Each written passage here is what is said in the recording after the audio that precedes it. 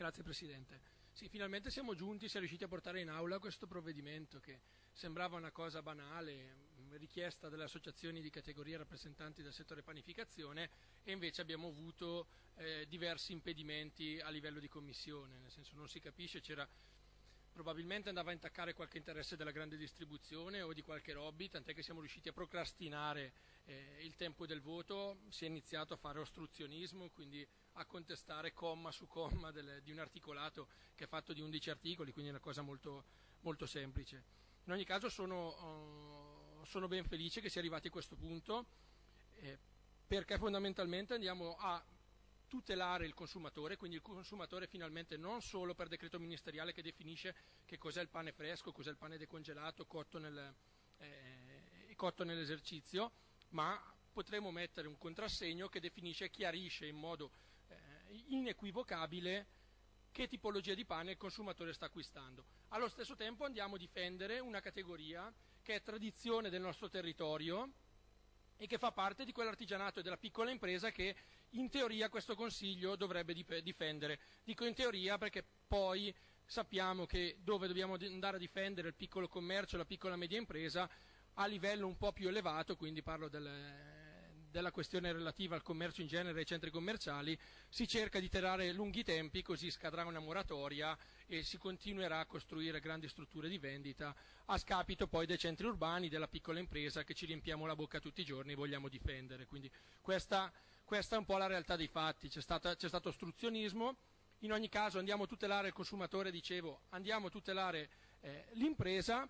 e eh, Abbiamo anche scelto, e il Movimento 5 Stelle ha chiesto di inserire, la tipologia di pane, quindi il contrassegno sul pane lombardo, non solo perché il pane lombardo ha delle sue peculiarità, ma per agevolare quella che è la filiera corta. Quindi a, no, a noi stava a cuore la filiera corta perché va a riduzione dell'impatto ambientale, perché valorizza anche l'agricoltura del territorio, quindi il grano, il frumento,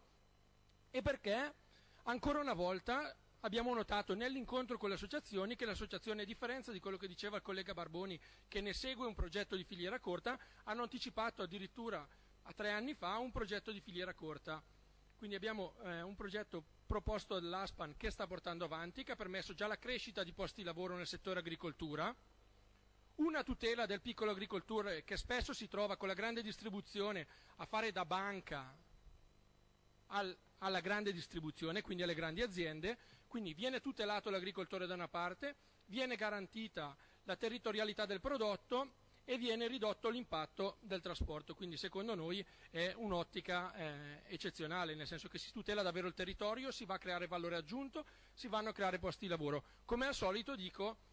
l'impresa, i cittadini e i privati arrivano sempre prima delle istituzioni, perché questo è un progetto che è partito tre anni fa, che ormai si sta diffondendo su tutto il territorio lombardo e noi ci siamo trovati a normare, non senza qualche malumore, una cosa che già esiste. Quindi c'è stato diverso malumore perché sembrava una cosa della Lega mettere lombardo. Vorrei ribadire in questo Consiglio che la parola lombardo non è di proprietà né della Lega Nord né del Movimento 5 Stelle né del PD, ma ha un suo valore aggiunto spesso per l'eccellenza che questo territorio in grado di esprimere. Quindi la, te- la, terza parte di questo progetto di legge, quella legata alla filiera corta, per noi è la parte centrale per la valorizzazione del territorio, per la riduzione dell'impatto ambientale e per la creazione di posti di lavoro. Quindi anticipo anche il voto del Movimento 5 Stelle, la dichiarazione di voto, noi voteremo chiaramente favorevoli e siamo favorevoli a questo progetto di legge e speriamo che davvero si possa continuare a sostenere la piccola impresa lombarda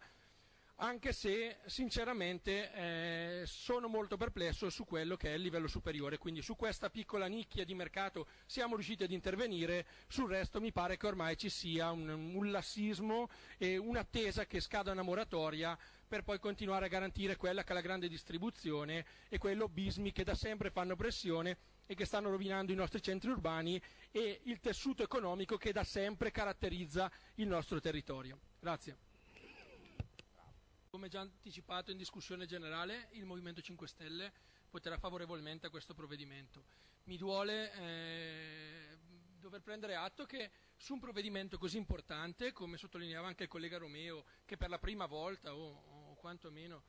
per la prima volta in questa legislatura si cerca di impegnarsi per, per la piccola impresa e per il piccolo commercio, eh, la Giunta praticamente non sia presente. Ringrazio chiaramente chi è presente, ma eh, c'è un deserto tra i banchi della Giunta che per me è abbastanza significativo, visto anche che poi chi o parte di chi ha fatto polemica sull'amichetta lombarda e anche chi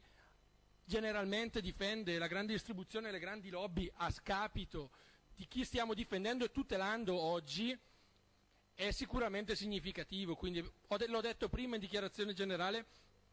in discussione generale, che dei, ci sono stati problemi in commissione, c'è stato ostruzionismo da parte di due gruppi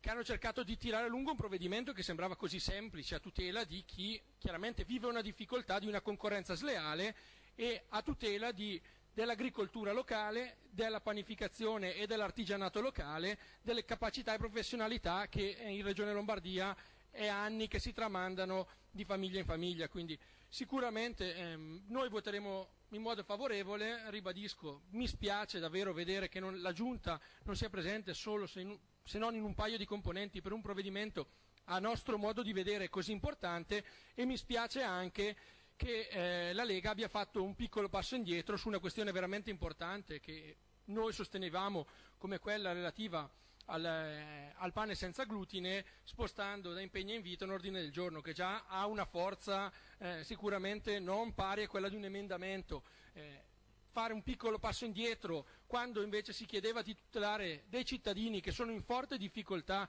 e che vivono delle problematiche reali legate ad aspetti di salute, ecco, io non me lo sarei aspettato. Avevamo fatto un provvedimento che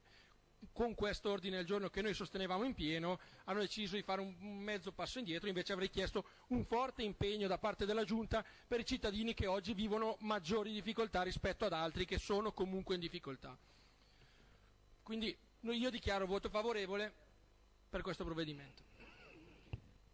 Grazie consigliere Violi. Ha chiesto di intervenire per la dichiarazione di voto del gruppo Maroni Presidente il consigliere Presidente del gruppo Stefano Bruno Galli ne ha facoltà.